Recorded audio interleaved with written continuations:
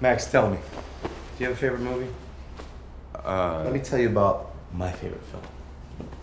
It's um, what's it called? It's the one with the the guy and the girl. You know, the one with the guy and the girl. And they.